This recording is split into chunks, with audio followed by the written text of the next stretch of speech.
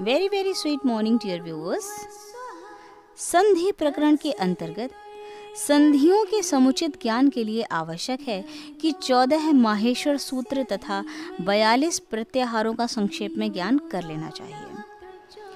पाणिनि की आराधना से प्रसन्न होकर, भगवान शंकर ने अपना डमरू चौदह बार बजाया, जिसमें से चौदह प्रकार के ध्वनि समूह निकले, जो कि चौदह माहेश्वर सूत्र कहलाए। जिन्हें हम इंग्लिश में शिवा सूत्र भी कहते हैं। ये माहेश्वर सूत्र ही संस्कृत व्याकरण की आधार भित्ति है। इन्हीं से निर्मित प्रत्याहार रूपणी संज्ञाओं की सहायता से महर्षि पाणिनि ने सूत्रों का प्रणयन करके अत्यल्प, अर्थात वेरी शॉर्ट और स्पष्ट, यानी क्लियर शब्दों में समग्र व्याकरण नियमों को सहज तथा सरल रीति से प्रस्तुत कर दिया है।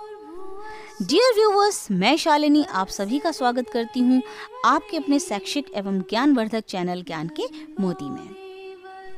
डियर व्यूवर्स आइए एक नज़र डाल लेते हैं चतुर्दश माहेश्वर सूत्र पर, अर्थात चौदह शिवा सूत्रों पर।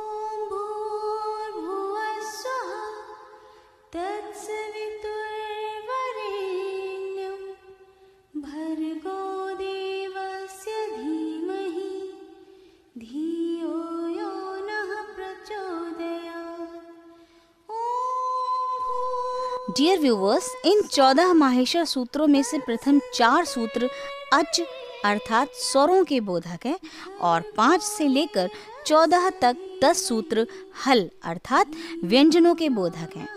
इन सूत्रों की सहायता से कम शब्दों में अधिक से अधिक बात कही जा सकती है। इन सूत्रों की पूरी वर्णमाला इस प्रकार प्रस्तुत की गई है।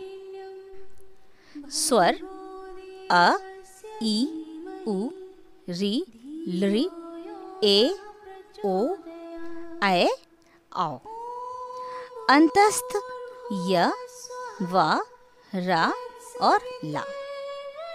वर्ग के पंचम वर्ण कौन कौन से हैं? न, म, ण, न, ना। वर्ग के चतुर्थ वर्ण कौन कौन से हैं, जो चौथे नंबर पर आते हैं? झ भ, घ, ढ, ध। वर्ग के तृतीय वर्ण कौन कौन से हैं, जो तीसरे नंबर पर आते हैं? ज, ब, ग, ड, द। वर्ग के द्वितीय वर्ण कौन कौन से हैं, जो दूसरे नंबर पे आते हैं? ख, फ, छ, ठ, थ। और वर्ग के प्रथम वर्ण कौन कौन से हैं जो पहले नंबर पर आते हैं? च, ट, त, क, प। अब वर्ण के ऊष्म वर्ण कौन कौन से हैं? ऊष्म वर्ण क्यों कहे जाते हैं? क्योंकि इनका उच्चारण करने पर हमारे मुँह के अंदर कुछ ऊष्मा उत्पन्न होती है।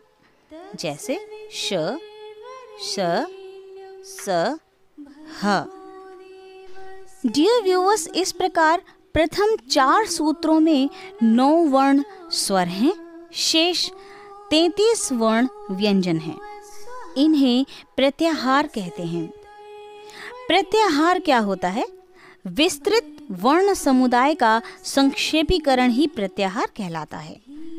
प्रत्येक प्रत्याहार केवल दो वर्णों से मिलकर बनता है, इसका निर्माण माहेश्वर सूत्रों से ही होता है।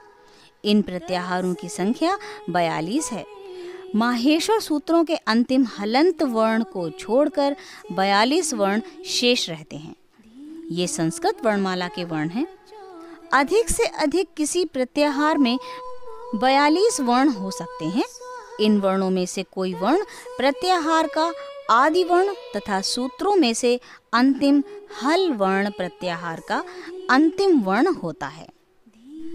डियर व्यूवर्स महर्षि पाणिनि के व्याकरण में इन बयालीस प्रत्याहारों का प्रयोग मिलता है। ये प्रत्याहार इस प्रकार हैं।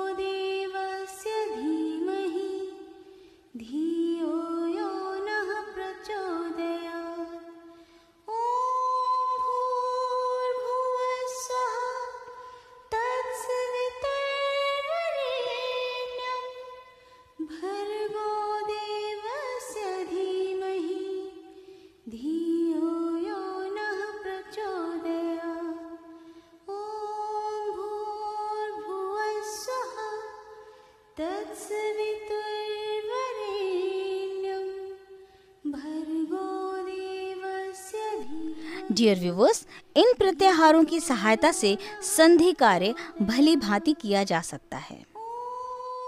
डियर व्यूवर्स आज के लिए इतना ही। हम जल्द ही मिलेंगे अगले वीडियो में एक नए प्रकरण के साथ। तब तक के लिए अपना खूब ख्याल रखिए। आप सभी की सफलता की मंगल कामना के साथ मैं शालिनी विदा लेती हूँ। अगर आपने मेरे चैनल को अब तक सब्सक्राइब नहीं किया है तो ज़रूर करें। और हाँ बेल आइकन को दबाना बिल्कुल ना भूलें, ताकि मेरे हर एक नए वीडियो के आने की जानकारी आपको सबसे पहले प्राप्त हो सके। Thank you